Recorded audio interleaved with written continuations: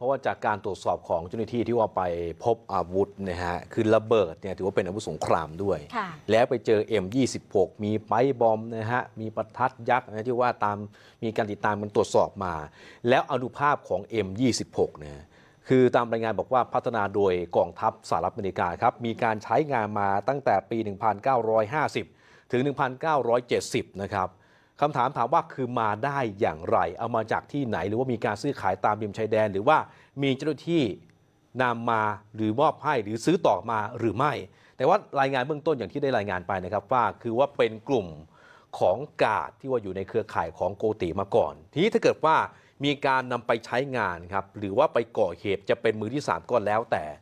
ทางด้านของ M26 นี้นะฮะระเบิดที่เป็นลูกเกลียงนี้เนี่ยเจ้าหน้าที่บอกว่าอำนาจทำลายร้างนะครับ จะอยู่ที่โลละประมาณ 10ถึง15 เมตรด้วยกันทำมุมนะฮะ10ถึง 20 องศา แล้วเป็นระเบิดแบบว่า composition B ด้วยนะครับ มีส่วนผสมระหว่างเขาเรียกว่า RDX และก็ที่เราจะคุ้นเคยบ่อยๆ ก็คือว่า TNT สัดส่วนในผสมกันคือ 60 ต่อ 40 ด้วยนะฮะ อื